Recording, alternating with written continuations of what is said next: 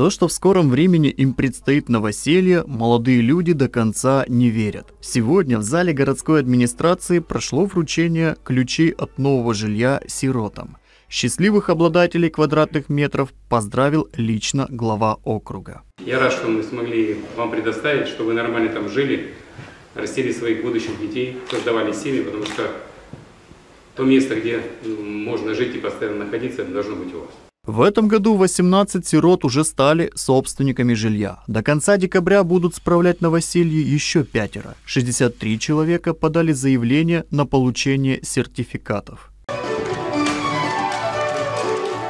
Свою квартиру Светлана получила в новом многоэтажном доме на улице Островского. Здесь уже есть электроплита и бойлер. Все отремонтировано и готово к заселению. Осталось только перевести вещи. Я планирую здесь обставляться уже где-то после Нового года, числа 5 января. Благодарю администрацию города, мэра нашего города Евгения Евгеньевича. Ну, долгожданный момент и волнение Всем спасибо.